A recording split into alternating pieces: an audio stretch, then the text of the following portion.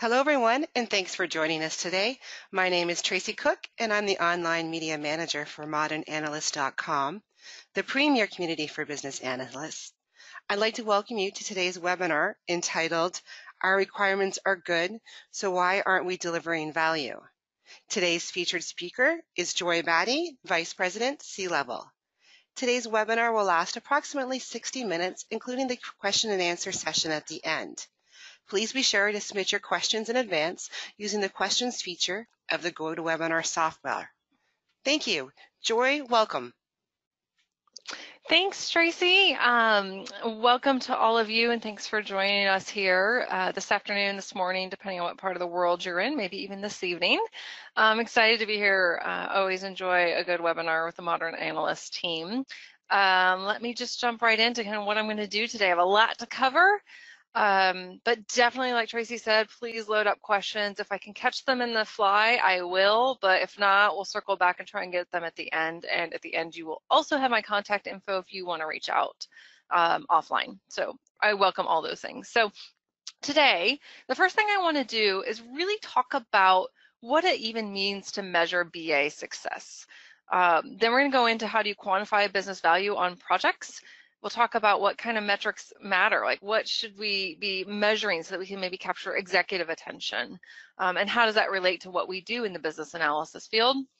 I'm going to spend a little bit of time talking through some results where we surveyed our own projects and our own customers, um, because I think there's some interesting nuggets in that that will probably reflect some of what you see or not. We'll find out.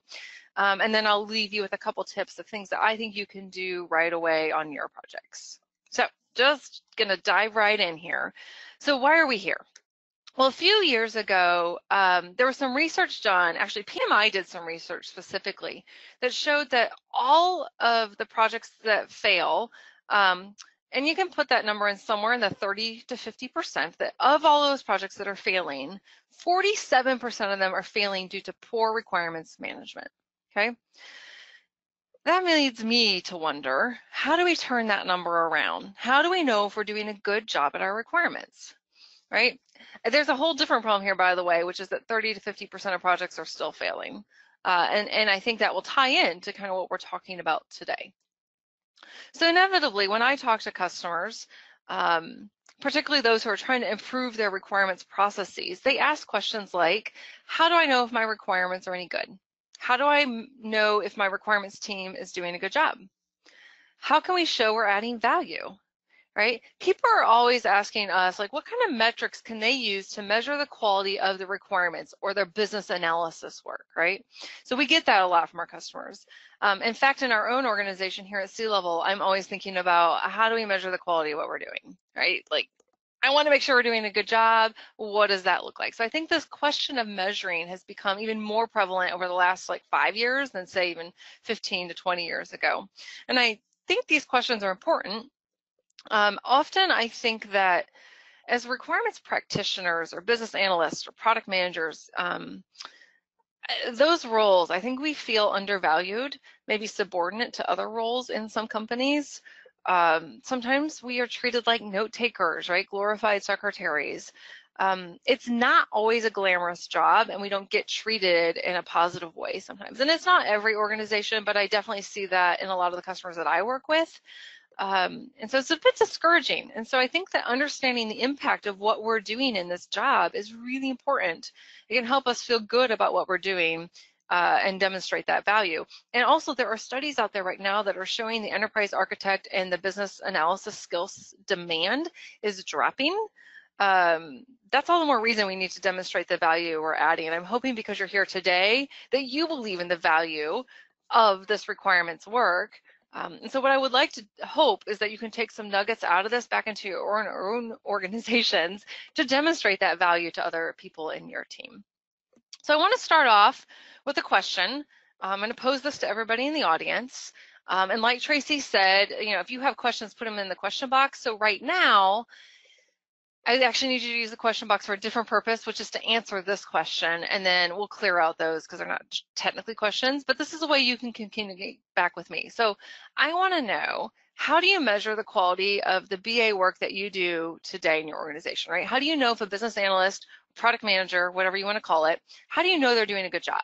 And how do you know if the requirements are any good? So just jot some ideas down in the question box and I'll just read them back to you all. we'll go from there. So I'll just give you a couple minutes to let some of those answers come in and then I'll read them as we go. All right, so we've got defect density. That's great, right? I love that answer because it's talking about when somebody takes the requirements and goes to build the system or the software, right? How many defects are we seeing in it? If we have less defects, that's an indication we're doing a good job. Peer review, perfect. We do some peer reviews of each other's work. We do that uh, in our organization as well. Um, taking client feedback, right? The right thing has to be built. That's a fantastic answer. That actually aligns very tightly with what I'm going to talk about today. Um, developers know what to develop, right? Did I involve the right stakeholders, change management? We can look at maybe some of the outcomes in the change management process, comments from subject matter experts. These are great answers, you guys. Okay. Um, stakeholder feedback, error proof.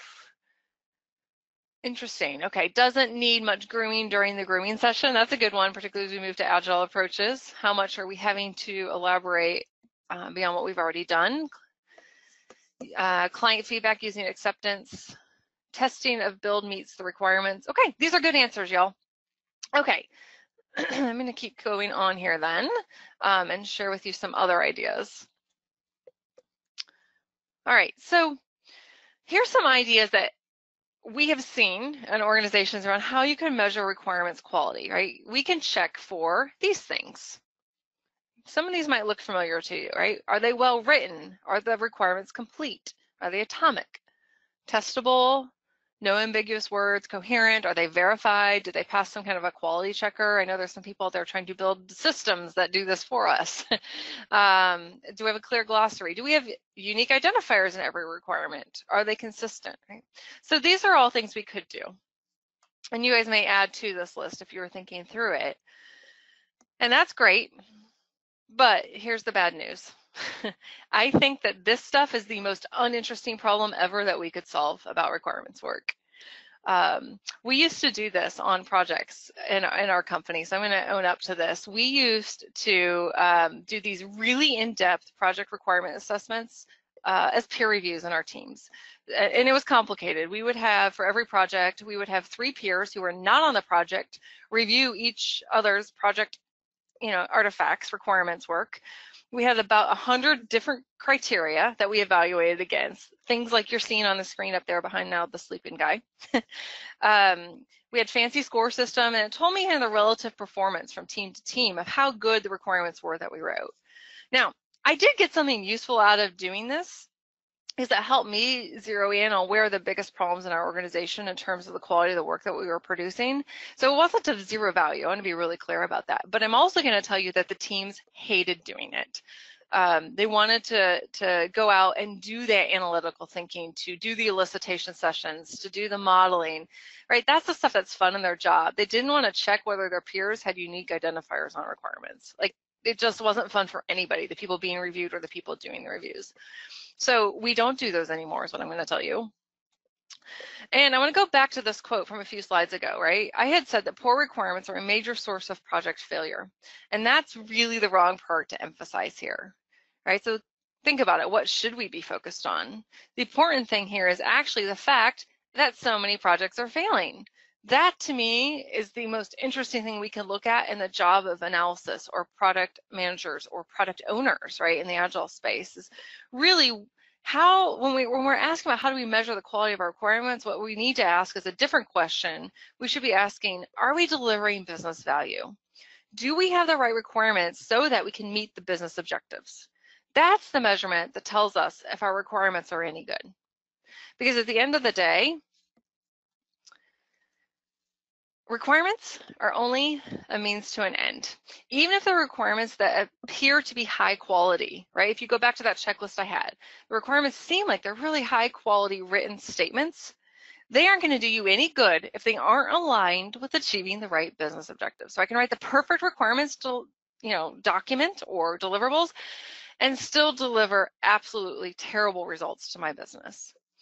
And the truth is, if we could deliver successful projects every time without doing any requirements work, we would, right? We don't spend money on the requirements for fun. We do it because it helps us deliver successful projects. So as the people who are responsible for the requirements work, we need to do a really good job on the requirements so that we can deliver that desired end, that business objective or the business value that we're trying to get out of a project. And I know that that is sometimes hard for people in this profession to hear because we're just a means to an end. But we're a really important means to an end if we can shift our thinking to be less about the quality of those requirements and more about, am I actually doing requirements for the right product at the end of the day? Um, and I want to stop here real quick and mention this because I'm quite sure we have a bunch of people in the audience who are agile focused. Um, what I will say is that I'm talking about requirements that still applies very much in the agile space. So I don't want to lose sight of that. We may call it something different, right? It could be user stories and acceptance criteria, elaborating those things. So for the purposes of today's talk, I'm going to call it requirements, but know that that is everything I'm saying is absolutely true in that space as well. I heard a story once about a guy who was working on a project to do requirements for an aircraft carrier, um, which I recognize that is not what you're looking at on the screen. But anyway, good fun on the on the rowing picture here. Anyway, they were doing requirements for an aircraft carrier, and they were getting really detailed in their requirements around what that boat was and how what it had to do.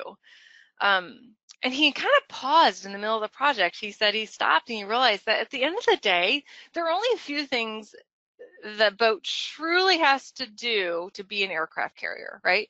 It has to float. It has to move in the water, like propel forward in some way. It has to handle airplanes landing and it has to be steerable, like we need to be able to change direction, right? And so on, things like that. Um, and he was in the weeds and like these nitty gritty detailed requirements discussions where people are arguing over um, very like just detailed things that are they're almost just not important when he realized really true success was going to be measured if it could do those things that we just talked about. Like does it float? Does it take aircraft landing on it right? So at the end of the day right does the boat float? That is the question he needed to stay focused on. And when the conversations deviated from that that was a really good indication his requirements weren't going to um, serve their purpose at the end of the day. Having the right color of blue on the walls doesn't matter if your boat doesn't float I'm not even sure. I don't know how relevant this is, but this is kind of interesting. Um, if you search in Google for these two different phrases, right, measuring requirements quality and measuring business value, um, what you will notice, and obviously those numbers will be different every day that you would look, but what you will see is that there are far fewer results for measuring business value as there are compared to requirements quality. Um, so I think that's interesting. People are writing about and talking about how do we measure requirements quality, not how do we measure business value or business objectives? Those, those, um, and again, I'm looking at what the results are when you search on the internet, which is an indicative of the words that are used out there in, in this space. Um, if nothing else, I think this at least hints at the fact that we as a community, both academics and practitioners, are talking and writing about the wrong thing. Um, so I think, I don't know, I think there's something interesting to think about there.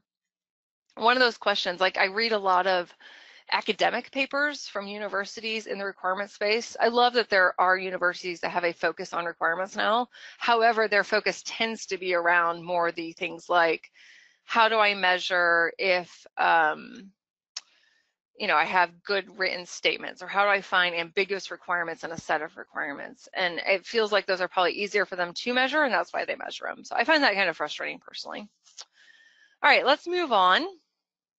I've talked a little bit about business value, um, and, and I want to get into how do we quantify, quantify the business value so we can measure if we're delivering it or not.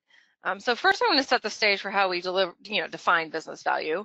Um, these next few slides are just going to be concepts relevant to some of the metrics, and I'll get into those metrics next. I just feel like we need to kind of baseline on what we're talking about here around business objectives or business value. So I think value can be measured through something called business objectives. Um, a business objective is the benefit that an organization expects to receive from a project, and they should really be written in a quantitative and measurable way. Um, you may call these goals in your organization, and that is fine. The key is that they should be something that you can quantify and measure. Um, and that and measure part can be really hard. Uh, business objectives can almost always be related back to money. So you'll see that up here, right? In the business context, that usually means something like increasing revenue, um, increasing profit, could be decreasing cost to the company. Uh, sometimes we have to use proxies for money. It could be the number of new customers on our site or number of units sold. Uh, but ultimately, those things really relate back to money, right? I want more customers because more customers gives me more revenue. Um, many, many projects, I would say most projects we work with end up wanting to have that proxy for money because the level that we are working at is just so far removed from that bottom line um, that that gets really hard. Um, I do have an example up here. Um, this is from one of the books, and I'll reference the book later, but it's one of the books that I worked on, where this is from a chemical purchasing system that they were putting in a chemistry lab. And an objective for that project was something like I want to reduce chemical purchasing expenses from 1 million to 750,000 in the first year. Super simple, straight and easy. My ultimate goal here is to reduce my purchasing expenses by $250,000 over one year, okay? You know, I worked on a project uh, many years ago now, but that project, there were two different versions of software for two very different types of customers, and um, they'd grown into their own um, major systems or applications.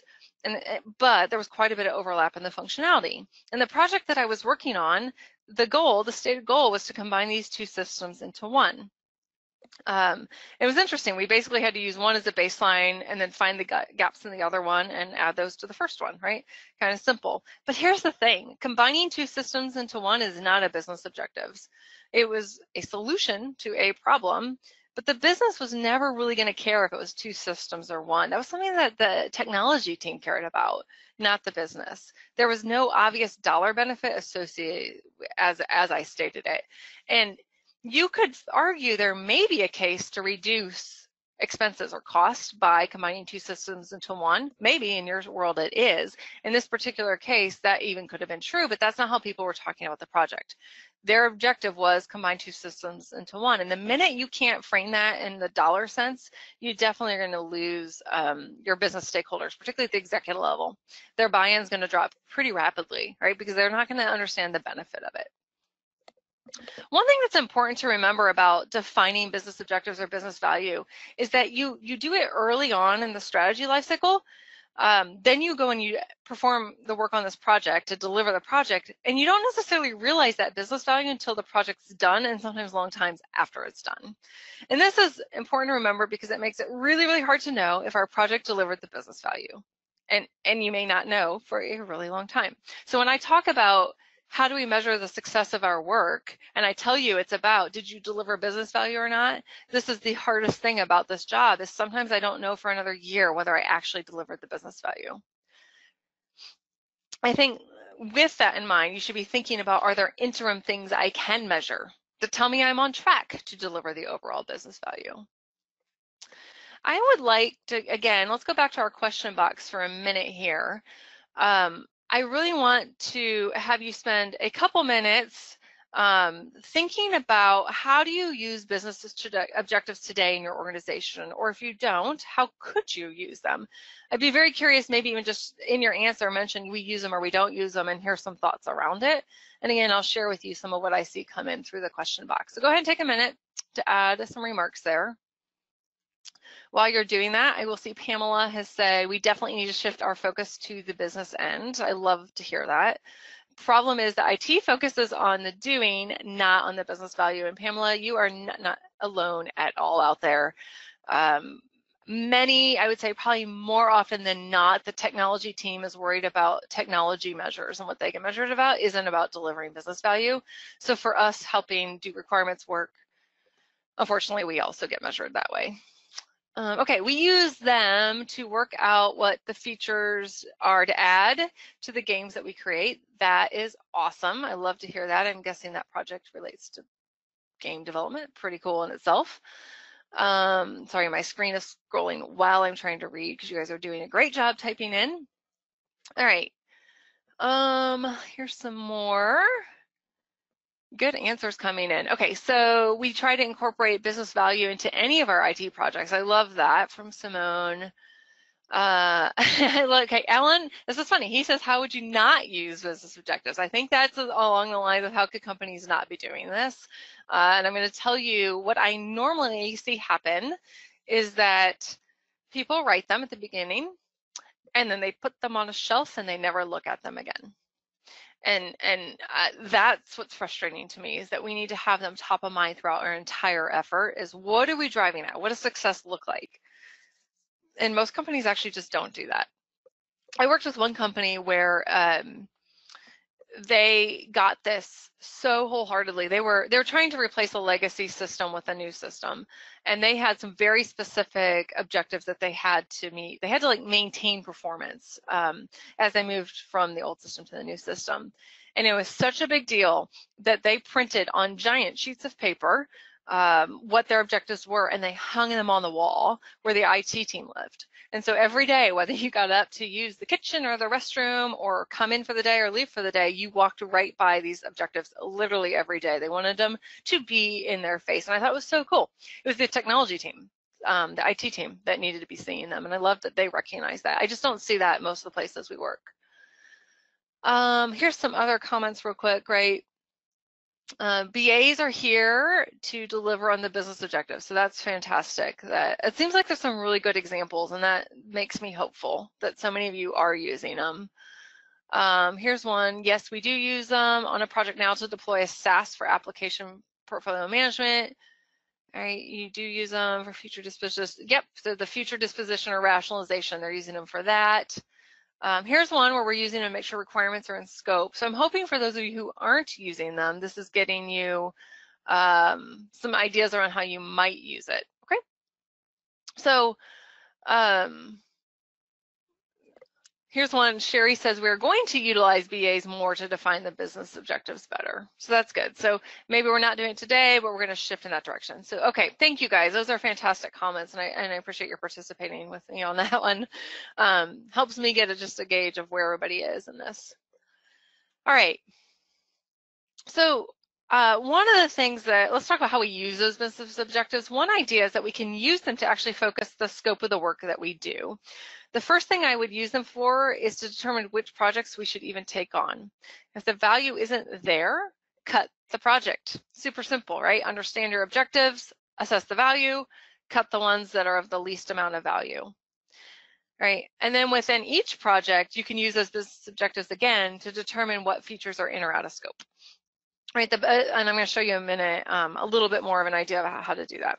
But the business objectives are that most important like kind of factor or contributor to deciding about your scope. And I saw that in one of your remarks up here. All right, it's not somebody's gut feeling about what we should or shouldn't put in place, our personal desires, or um, hey, I heard this like cool. Uh, I, got, I got this cool marketing ad from a company and they think we need to have this thing. That's not how we decide what to implement or not implement. It's really about what's the actual value delivered. Um, so again, like I said, we'll see how we can quantify that value because I think for business analysis purposes um, or product owners, like a lot of times we resort back to this feels like this is more important than this other thing, but this will help us get some concrete measurement behind that and be able to explain it to our stakeholders why something should or shouldn't be ranked higher or not. Right, and both of these up here on the screen you'll notice are cyclic, right? You're constantly reassessing which projects to start or even cancel midway And you should always be focusing on prioritizing and reprioritizing without the project. It's not a one and done thing almost ever. Um, by the way, this is a really big deal. If you can help recommend projects that should be canceled using real data, um, that's making a big difference in your organization. You can be adding a ton of value if you can make that argument. And it may be scary, and I get that, and everybody will be in a position that they could do it. Um, but if you can, it can be a way that you demonstrate some leadership in your organization. I mean, don't go cancel the ones that are of value, but helping show where something isn't of value and being able to make that recommendation will help um, uplevel your own career, I think. Um, in our organization, because we are working with customer organizations on their projects, um, we, I, I think that we are probably in a safer place to be able to make recommendations about what to cut. Um, it's not like our job's on the line. Whereas an employee in a company I know can struggle a little bit with that idea of like they're on this project, they don't think the project's important. If they get the project cut, well, what am I going to work on, right? Uh, and we've done this. I have a, a great example of this a few years back with a company where they had two different projects they were kicking off at the same time, and they were related to one another. Um, and we we looked at it, and one of those projects had, uh, let's say, an eight million dollar return on it and it was going to cost them on the order of two million um, over the course of a year to roll this thing out. The other project had a very small return on it. I don't remember, but let's say it was one or two million, and was going to cost like a million to do it. So the ROI on it was really low. And again, they were both related. Um, and we were in particular working on that smaller project. And so we went and we looked at this and we're like, wow, this seems like a really bad idea because you're about to spend a year of your resources, your time, your budget, all those things to deploy this thing that doesn't have anywhere near the amount of value of this other program that you have going on. And our recommendation um, to the executives on that was to cut the project, that smaller project. You should just not do that project, put all your resources into getting the other one right. It's riskier and more important, higher value, right? And so that was our suggestion to them was to go down that path. Um, and that's a real example where we were only going to be working on one of them and we legitimately thought they should cancel the project that they were asking us to help on. They didn't. Um, they decided to try and do both of them. And I'm going to tell you it was a disaster in the end. Um, the project that I worked on again, it was fine. It went okay and it, went more or less as planned. Maybe took longer than intended, but eventually that got the ROI out of it. The other project where they had estimated this $8 million return and a 2 million, um, or yeah, $2 million cost on it took, uh, gosh, probably three or four years and cost them three or four times what they thought it was going to do, which greatly diminished the ROI on it, right? And so it just became kind of a big sore spot. Um, some executives actually lost their jobs over it, which I think is unfortunate. Um, not necessarily appropriate that it happened, but nonetheless, it was just really a shame to see that happen. That I think that had they not tried to distract themselves with too many projects, that that probably would have gone better. And I'm willing to bet if most of you look around your organizations, you will see examples of where that's that type of story has played out, where maybe um, they were overcommitted to too many projects. All right, I promised a way to, to quantify things. So here it is. It's called objective chains. This is um, this is one of our visual models that we love. Um, and what it does is it ties your features back to your business objectives to assign um, some kind of a benefit to each of the feature. And I'm calling them features. You could talk about these as sets of requirements. You could assign these at the epic level for Agile.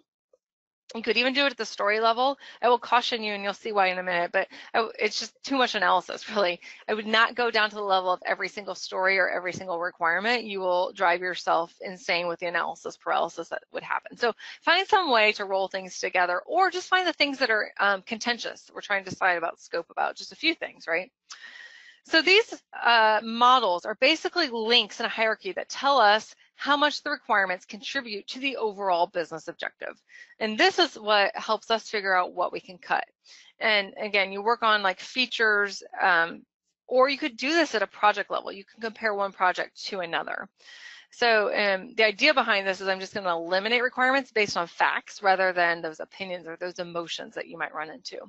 So for example, if you could show that a feature only adds $10,000 to a project that has a $1 million objective. And you have another feature um, that adds a million dollars, okay, to a million dollar project. Well, you really only need to build the million dollar feature. But, or like on the screen right now, which ones would I keep? I'd keep the 1 million. I would keep the 500,000. I'd maybe keep the 100,000 as my third in line, and then I would cut my $10,000 one. So the idea behind this also, you do not need to be precise in these numbers. You want to get to a rough order of magnitude though. Let me take you through an actual example from that chemical tracking um, system, purchasing system that I talked about earlier. So imagine I have just a couple high level requirements. One of those is going to be stockroom inventory recording and another is chemical container images. The stockroom inventory rec um, recording is used to um, basically know what's in the stockroom at any given point in time. So they have chemicals in a lab, they're on the shelves, and they want to have an accurate inventory of what's in that stockroom so that when somebody's requesting that we buy a chemical, they can go just find out if it's in the stockroom before they buy it. So, and, and by the way, this was happening because people were ordering things that were on the shelves, right?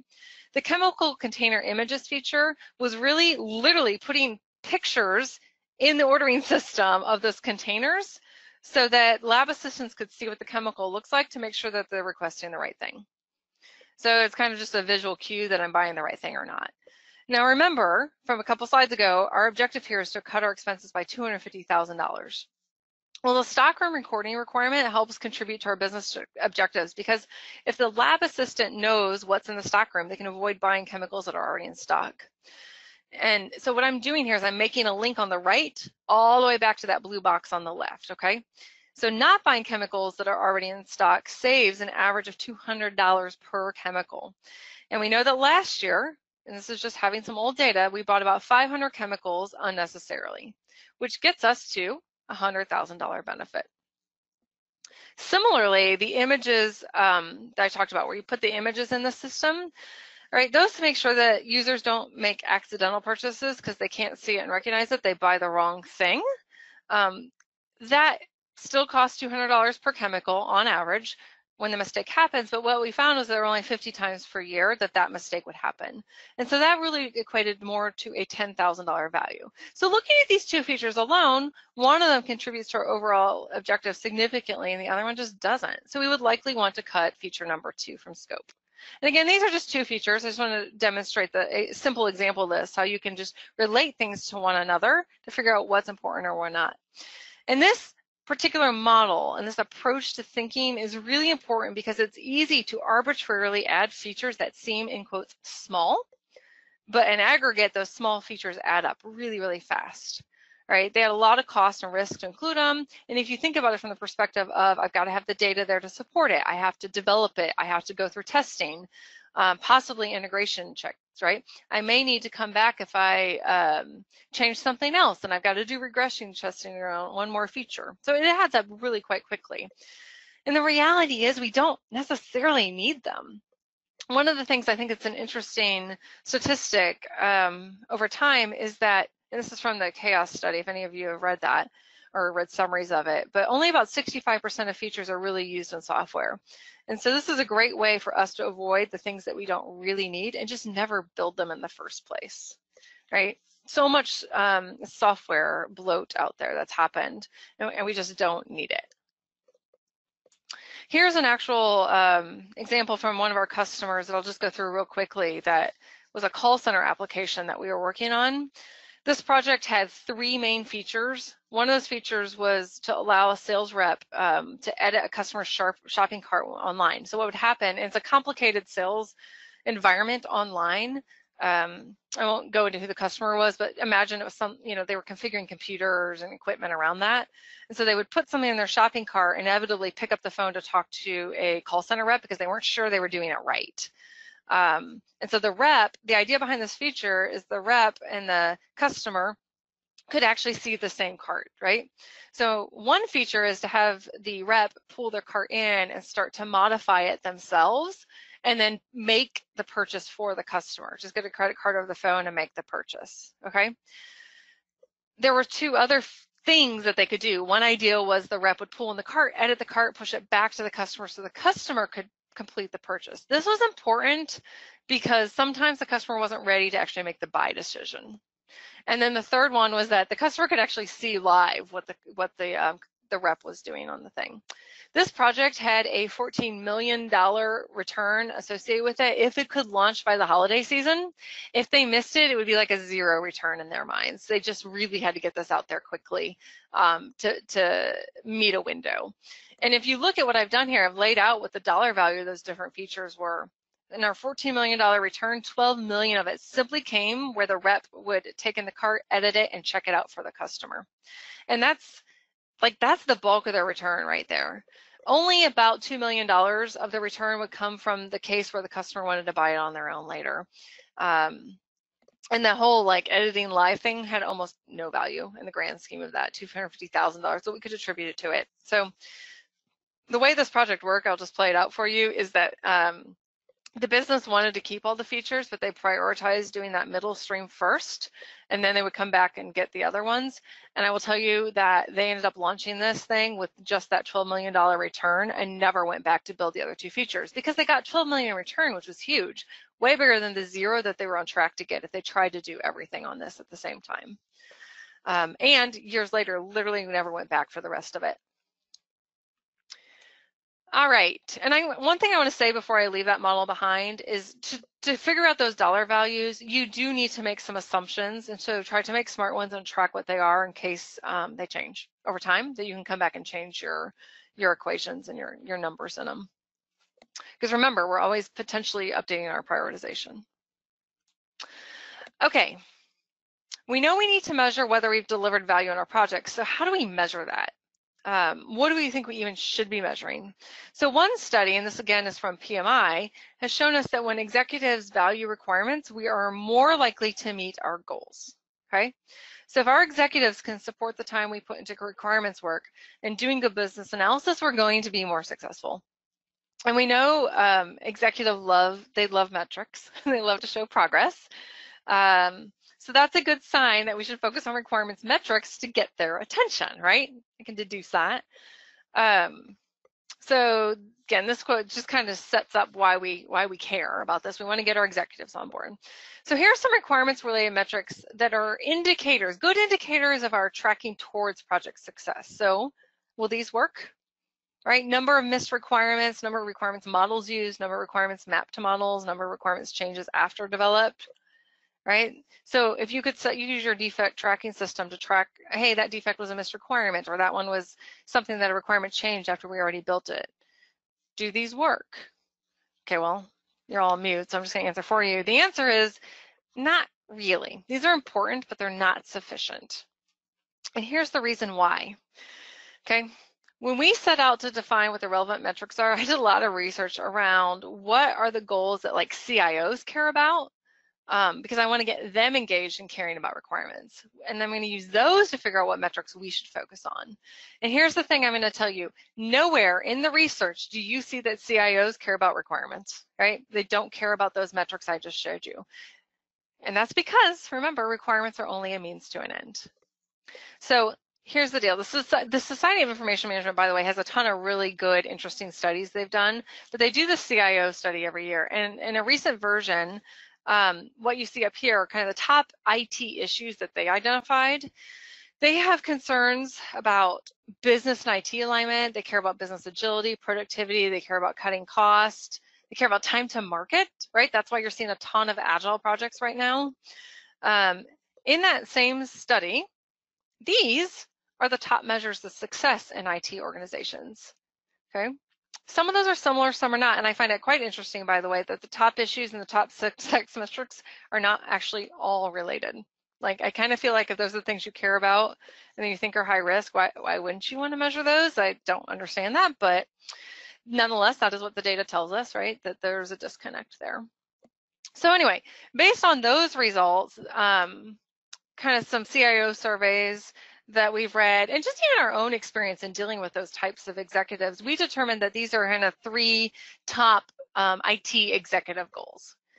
Right, so IT executives are really trying to align their work to business needs. I am definitely seeing more of that, and I think that's awesome, right? Very exciting that they're not just about delivering two systems into one. They're really about delivering business value. You're seeing that shift happen. With that, they want to shift their budget to things that add value. 80% of IT budgets are spent on maintenance projects that don't actually increase the value in the organization. Like that's scary to me. 80% are about maintenance projects, okay? Um, and the other the last one is they're thinking about how do we get products into the hands of the users faster. Again, that is why we see Agile happening right? So we're seeing a shift right now. CIOs are really trying to focus on projects that make money rather than save money. I think that's a win. So I'm going to look at each of those closely and then tie that to metrics that we, in our roles of business analysis, product owners, things that we can measure. Uh, one thing um, that I will share with you real quick, because I just heard this story last week from um, somebody I was chatting with at a Fortune 100 company that she said, and this relates to that, 80% of our budget is not things that add value. She was a business stakeholder who was talking about some new features that they had just launched out to a customer portal. And the business was so excited about these features. They launched them and um, the response times in that portal were so, so bad that they had to roll it all back and spend, no joke, six months refactoring all of the code. The features were all there, but they did six months to refactor the code to fix the performance problem. Um, and, and that happens, right? That's like an underlying architecture problem, clearly. um, that they had to address. But that's how we, we quickly get to this number that 80% of what technology teams are working on don't actually add value for the business because it's not, right? Refactoring, if they'd done it right the first time, they would have had um, the value up front. Okay, so let's break these down into metrics that we care about. So increasing business alignment is really fundamentally about delivering the actual business objectives. So I want to make that connection back to what we were talking about earlier. So there's a few metrics we can track. Um, in all these cases, we'd want to look at kind of a baseline of where we're at and then try to improve it over time. So baseline where you are today, don't worry about what that response is, and then improve from there. So we want to actually measure how many projects are able to deliver the business benefits or the business objectives. This is super hard to measure. Remember, I said that you can't measure them often until way after the project. Um, but nonetheless, we should make a point um, to come back and measure those later so we can start to tally this up. How good are we at this? And then the goal, of course, is to increase those that meet their objectives. Another really good one is to measure user adoption. This is something you can usually do right after you take a system live, right? This is especially important if you're trying to turn off a legacy system. Um, I know that a lot of times organizations just say, hey, I'm going to turn off the old system, so you're going to have to use the new one, so I'll have 100% user adoption immediately. I'm going to tell you that doesn't always work out as planned. I watched one organization with a with a call center actually, where the CIO demanded they're all going to use the new call center when it launches. Well, they had missed some key non-functional requirements around um, how users interacted with the application. Um, the net of it is that users wanted to be able to use the keyboard to navigate the application, not a mouse um, and it wasn't designed that way. And literally the sales team refused to use the new application. And so as a CIO who demands we're gonna turn off the old application, if your sales team isn't willing to use the new one, you're probably not gonna actually turn off the old one. So it's not just as simple as somebody saying it's gonna, they're gonna have to adopt it, right? Um, in the second column, shifting budgets to deliver value or even better to make money. So um, look at how much of the portfolio value is actually delivered, right? So you have this amount, like number of projects you're gonna to try to deliver, how much are you actually delivering? This could be an indicator that you're trying to do too many things if you're not delivering successfully on them. Another one is look at whether projects and features can actually get cut from scope right? So again, 65% of features are rarely never used, so we shouldn't spend money developing them. Um, but we can measure which features we develop do actually add value and build those, cut anything that doesn't fit that. And that same thing is true of projects. Cut your lowest value projects and focus on the ones that add the highest value and doing them right. And then under decreasing time to market, right, that's about delivering products to users faster. So let's look at how frequently we release the actual product to users. And over time, you should see that become more frequent. Again, this is all about doing agile and, and you know maybe sprinting. How do you sprint? How do you sprint? Well, how do you release working product to users? Also, you might want to measure how many IT dollars are spent on rework, which is an indicator we're slowing um, slowing releases down if we have to rework it before we can actually put it out to users. Now, that all might seem like a tall order if you're not doing any of those things today, and that's fine. Just start with a few. Um, and I'll show you in a minute how we did some of this in our own organization. You don't have to go do all those things on day one, just like pick somewhere to start, right? Here's some other things you could probably measure pretty quickly that are again, interim measures of the things I just talked about. Number one is business objectives. Do you have them or do you not? Look across your set of projects and it's either a yes or a no. I have them or I don't. Or you could do, are they measured? Are they measurable? You could even go that far. Um, then when you have them and they do exist, start to measure them, right? Were they met or not? This is another step toward increasing that business alignment. So just kind of chipping away at this. Another uh, focus on techniques, you know, is we can focus on the techniques that help us cut those unnecessary features and then actually measure it today, measure how many features actually get cut in your project, then start to put techniques in place to help you cut scope of the techniques, that, the features that don't add value, and over time measure how many features am I cutting in a project. Um, and you might even just want to measure like how many projects are late or not. That could be a trend towards are we getting things done on time or not getting better at that. They those are feel much simpler and much more doable for the um, average organization to start measuring literally today if you wanted to. Okay, let me kind of wrap up a few more things with some results to leave a little bit of time for questions at the end. so like I mentioned, we had um, done a little bit of surveying or research on, on our customer projects that we worked with at Seilevel to measure the value of our requirements work. Um, so first we did a survey to our customers. Um, we didn't have a ton of results. I want to say it was like 43 came in. Um, so there's some interesting data in here, probably not statistically significant. And then from, um, uh, sorry, from our larger survey, I will tell you like there's this mix of whether projects even know what the measurable objectives are or aren't right? Not too surprising. And so that's what you're looking at up here on these charts. It does appear that they usually aren't well known enough that they can use them to prioritize. So I will say that while we see probably more projects have them than don't have them, and teams know what they are, that doesn't mean they actually can use them in their project day to day to prioritize. So I, I know a lot of teams are out there and, and, they, and they're talking about business objectives and I love that. The next step is to make those forefront of our mind as we, as we move through the project. And I mean everybody, developers, testers, everyone knows what the objectives are. So everybody's working towards them. Okay, here's some more survey results, right? Right, does the business prioritize using that value? Um, so this is from a business perspective, right? The first grouping tells us in general, the business does think about business objectives just like their projects. So that's great. The middle grouping tells us that they're picking the ones that have the most benefit. So that's good news. They're tending towards selecting the high value projects. And the third one tells us that they know what the projects are as selected, but they don't necessarily use them to do the prioritization within the project. So kind of aligned with what um, industry data is showing us, we saw the same thing with some of our customers. Um, you know, we worked, we looked at some customers that we're working with every day and, and we have some visibility into multiple projects with those customers. And so here's just five different sets of data from customers that we work with. Um, some, I guess we worked on some we didn't, but there, we at least have visibility into those projects. Um, and you can see that most customers, um, like in most course, they have business objectives and some of them are good because they're measurable and others like number five up here they have hundreds of projects and literally none of them have business objectives. So kind of swing the whole gamut there right?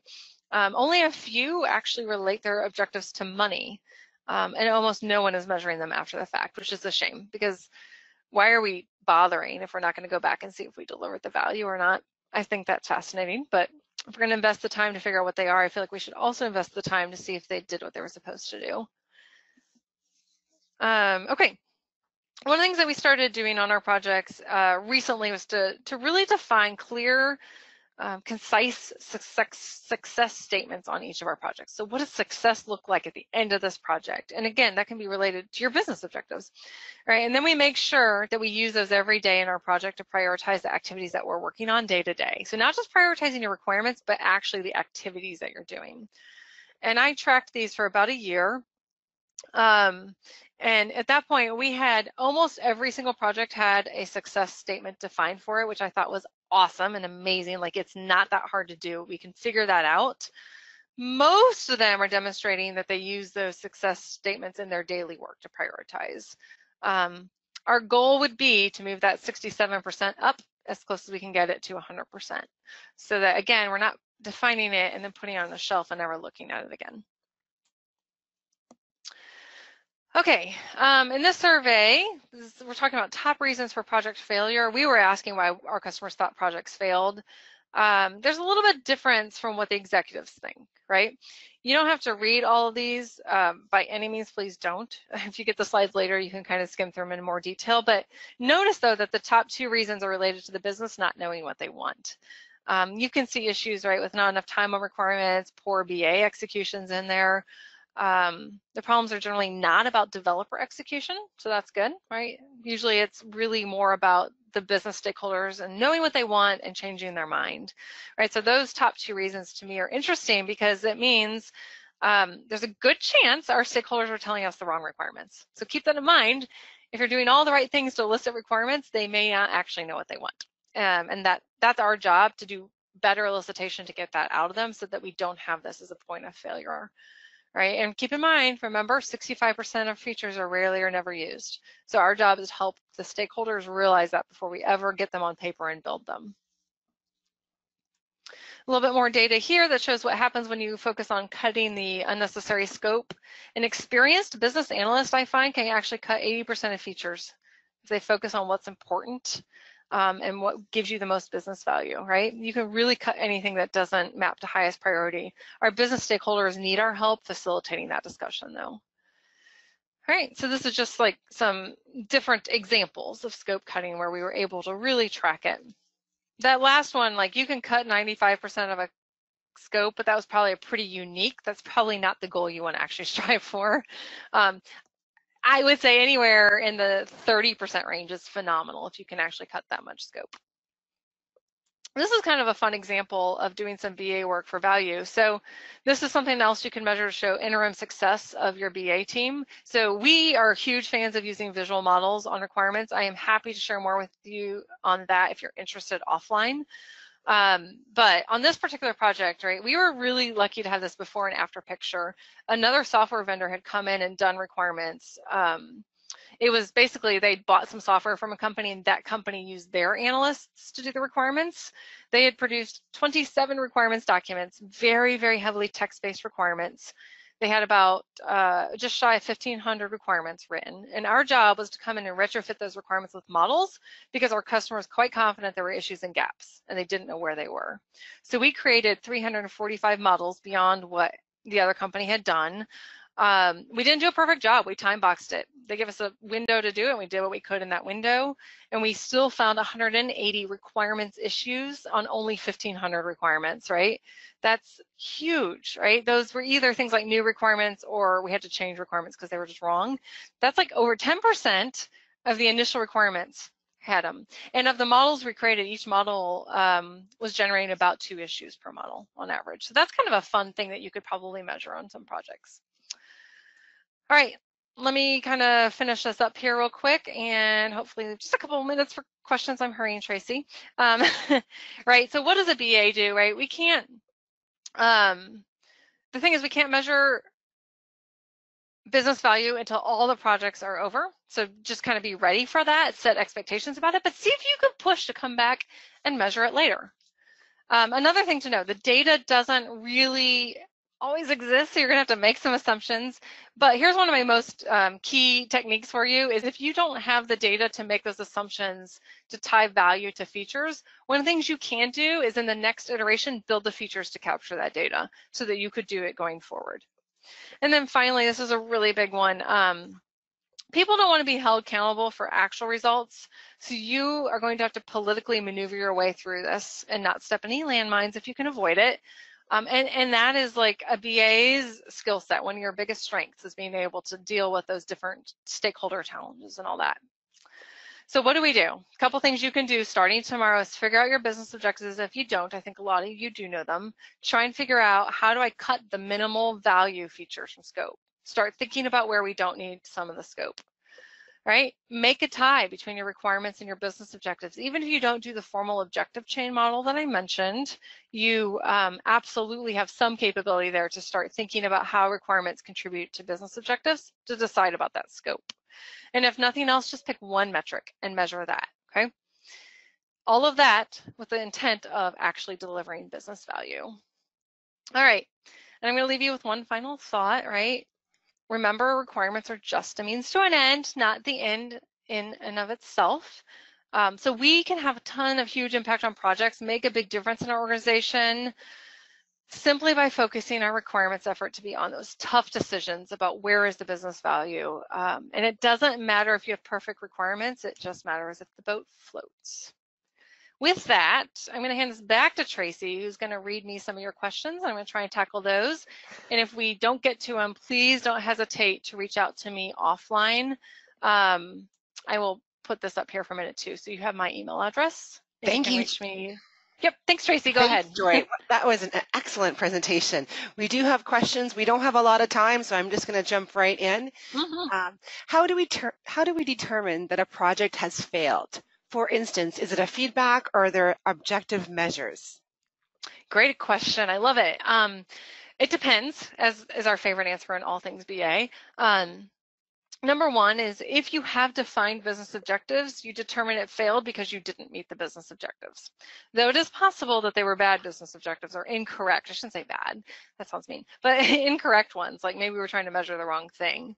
So there's components of all that. One is figure out did users adopt it or not. Um, I know a lot of project managers would tell you it failed if it was not on time, not on budget. Those are less interesting to me, though not to say they're not important. I think for us, it's about we signed up to deliver some kind of value. Either we got it or we didn't. Um, we talk around here about like how much should I invest in a particular thing or not, and the answer is, do you get five times the value back out of it? Like if I was going to buy software for ten thousand dollars, do I get fifty thousand dollars of value back? That for me would be success. If I got 11,000, it could still maybe be success, but if I didn't, then it's a failure. So that really depends on the context. Thanks, Joy. Our next question. Uh, this is a question about the, the value decision tree model. What is the actual name? Ah, the value decision tree model. Okay, that was the objective chain model. I'm going to pop this book up because I just saw somebody ask for the name of the two books that I referenced on that slide. So I'm going to put it up here. I think it was George who asked for that. But that book on the left, Visual Models for Software Requirements, this is like my baby. It was my passion to work on this. I love all things models. I could probably do this for two days. One of the models in that book is objective chains. You don't have to buy the book, by the way, to learn the model. Um, I have, somebody can reach out to me if they want to, but there's like this business objective chain white paper that um, has the content in it, but also it's just a page on our um, blog or our content. So I can point someone to it if you're interested in knowing more about that model. It's called the objective chain though. Thanks, Joy. Our next question, can you mention some of the requirement models that you alluded to earlier? Yeah, so there's some really basic ones that you may not call models in your mind, but process flows are a really easy one for everybody, including the business to understand. They don't have to be trained. Um, I'm going to say this though, don't put everything in one model. so don't make a process flow that has 100 steps in it. Figure out how to chunk that up. Some other ones, we have one called a business objectives model. I didn't go into it here, but I talked about the elements of it a little bit here. Uh, we do that on every single project. I can't remember the last time I didn't do one of those. Process flows are super common. We have one called ecosystem map, which is showing all the different systems and scope and how they interact with one another. We have one called a business data diagram. If you're familiar with an entity relationship diagram, it looks like that. It's really focused on business objects and how they relate to one another. Lots of good techniques with that to identify everything from business rules to even just like stories um, off the data and um, I feel like I could talk about that for a while, Tracy, but I'm going to pause because I've just named a few.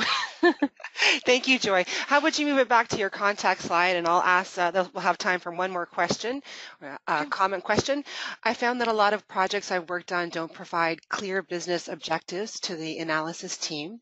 My guess mm-hmm. is that they don't flow down from the executive team's decision-making right. process for which projects get undertaken. How mm-hmm. often do you experience the same issue? I would say almost always. The only time I don't experience that issue is when I'm working with the executives directly. Um, and so the answer to the how do you well, she didn't ask the question or he didn't ask the question. The answer though, if you were wondering how do I do that, is you really need to find that connection back to the executive team. It doesn't have to be you, it could be through some other people.